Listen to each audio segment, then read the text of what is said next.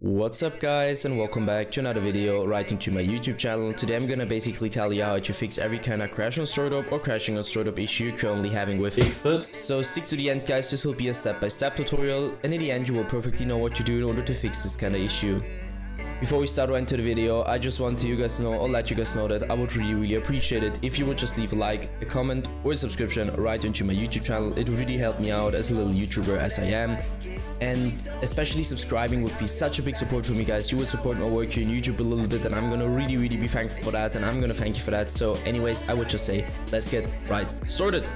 So the first step I would recommend doing for everybody is going to be to navigate to the very bottom of your screen where you're going to right click your taskbar and open up your task manager. Next step is going to be to navigate to the top left corner of your screen clicking onto processes and once you click processes I want you to click one of those random processes and once you clicked it you're going to type in using your keyboard the name of your game. If nothing pops up it's good for you. If something pops up simply right click and hit end task. Once you're finished with that I want you to enter task manager again.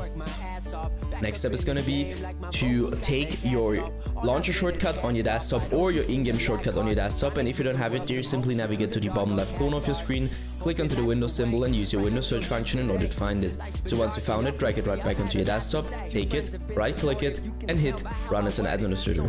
Once you click run as an administrator, your game will pop up or your launcher will pop up and I want you to launch your game over the launcher. And if it crashes again, return back to your shortcut, right click it, go to the very bottom where it says properties, click into compatibility and simply copy my settings. So let's quickly run through it. Enable run as program compatibility mode for it, select Windows 8, disable the disable full screen optimizations as well as enable run this program as an administrator, hit apply and OK. I would personally recommend to reset your PC afterwards and once it is restored, you should be able to see this little administrator symbol right into your shortcut. What I want you to do next is going to be to launch a game over the launcher, launching game instantly and this will probably fix your issue.